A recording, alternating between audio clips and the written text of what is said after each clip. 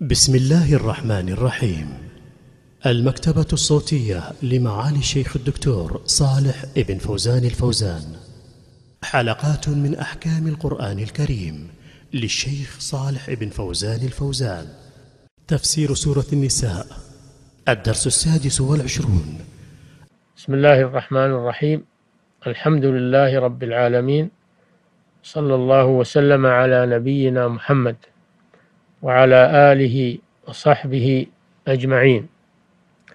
نواصل الكلام في استنباط الفوائد والأحكام من قوله تعالى ومن لم يستطع منكم طولا أن ينكح المحصنات المؤمنات فمما ملكت أيمانكم من فتياتكم المؤمنات وفي هذا دليل على أن السيد يدعو مملوكته بقوله فتاتي بقوله فتاتي لأن الله قال من فتياتكم. ويؤخذ منها أن أنه لا يجوز أنه لا يجوز تزوج الزانية سواء كانت حرة أو أمة. حتى تتوب من زناها وتنقضي عدتها. قوله تعالى في الحرائر الزانية لا ينكحها إلا زان أو مشرك. الزاني لا ينكح إلا زانية أو مشركة والزانية لا ينكحها إلا زان أو مشرك. وحرم ذلك على المؤمنين. هذا في الحرة الزانية. وقال هنا في الأمة محصنات غير مسافحات ولا متخذات أخدان فيشترط في تزوج الأمة في تزوج الحر من الأمة أن تكون عفيفة عن الزنا الظاهر والزنا الباطن. الزنا الظاهر في قوله غير مسافحات والزنا الباطن الزنا الظاهر في قوله غير مسافحات. والزنا الباطن في قوله ولا متخذات أخدان أي أصحاب في السر. ويؤخذ من هذه الآية أن الصبر وعدم التزوج تزوج الحر من الأمة أن الصبر والامتناع عن ذلك خير له وإن توفرت له شروط الإباحة فكونه لا يتزوج الأمة المملوكة خير له. وذلك لما يفضي إليه تزوجه بالأمة من استرقاق أولاده. فالله جل وعلا حث على الصبر. قال وأن تصبروا أي عن تزوج المملوكات خير لكم من تزوجهن. فهذا فيه النظر في العواقب وأن الإنسان إذا أراد أن يقدم على شيء فإنه ينظر إلى عواقبه فإن كانت عواقبه حميدة أقدم عليه وإن كانت عواقبه سيئة فإنه يمتنع منه. هذا إذا كانت العواقب معلومة. أما إذا كانت العواقب مظنونة فإن الاحتياط مطلوب. فإن الاحتياط مطلوب لقوله تعالى وأن تصبروا خير لكم وفي الآية أن الصبر مع المشقة خير من التزوج بالأمة المملوكة مع مع مع تيسر الأمور. فصبره مع وتحمله للمشقة خير من إقدامه على تزوجه بالأمة. والنبي صلى الله عليه وسلم أرشد الشباب فقال يا معشر الشباب من استطاع منكم الباءة فليتزوج. ومن لم يستطع فعليه بالصبر آه، ومن لم يستطع فعليه بالصوم فإنه له وجاء.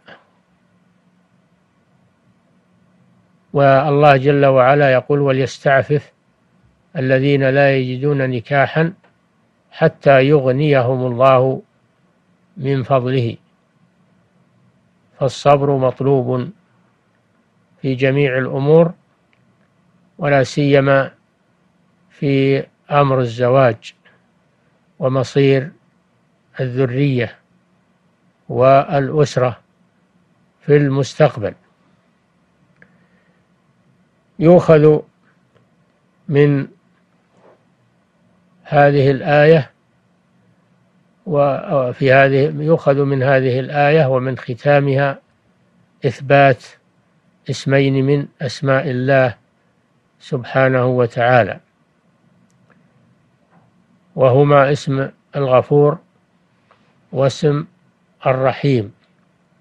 غفور كثير المغفرة وهو الذي يستر على عباده ذنوبهم ويعفو عنها.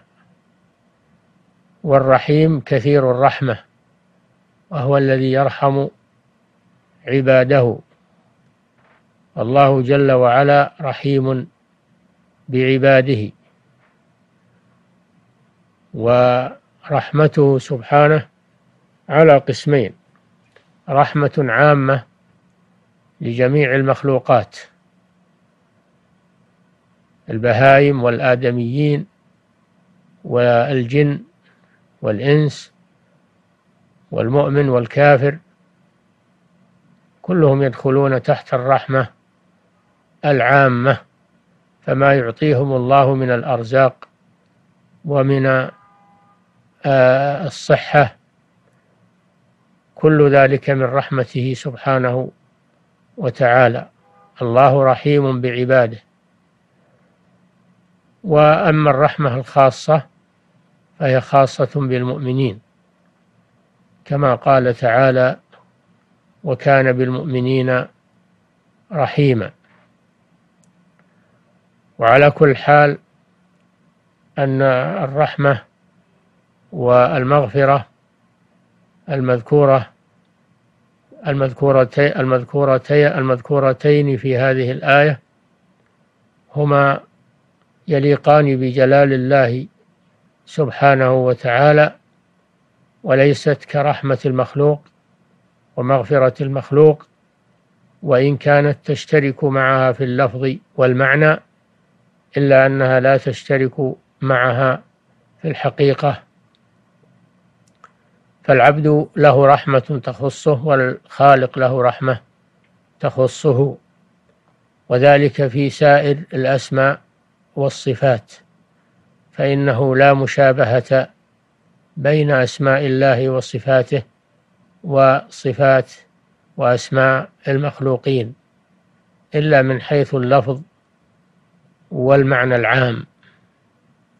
وأما الحقيقة فإنها لائقة بكل موصوف وبكل مسمى كما في قوله تعالى ليس كمثله شيء وهو السميع البصير فأثبت فنفى عن نفسه مماثلة المخلوقين وأثبت لنفسه, السمع والبصر مع أن الخلق لهم سمع لهم أسماع ولهم أبصار.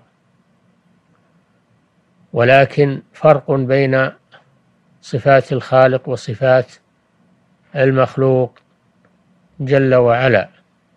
وهذا باب عظيم في الأسماء والصفات يجب أن يتفطن له المسلم صلى الله وسلم على نبينا محمد وعلى آله وأصحابه أجمعين.